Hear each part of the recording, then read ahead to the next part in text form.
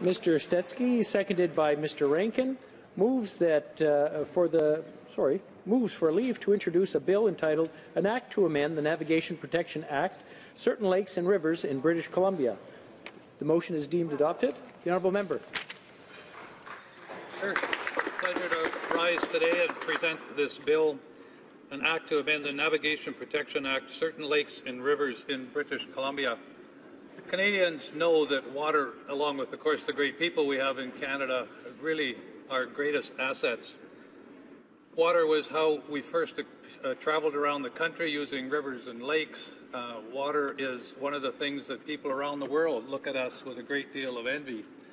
And so I'm very proud today to present this bill, which brings back into the Navigation Protection Act 12 lakes and 21 rivers from my riding of Kootenay, Columbia, which were excluded under the Conservatives' amendments to the, the Act a number of years ago.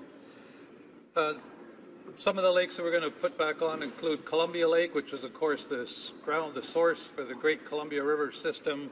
Uh, 21 rivers, including the Flathead and the Kicking Horse rivers, I really would like to see support from all members of this Parliament because we all know how important water is to being Canadian. Thank you, Mr. Speaker.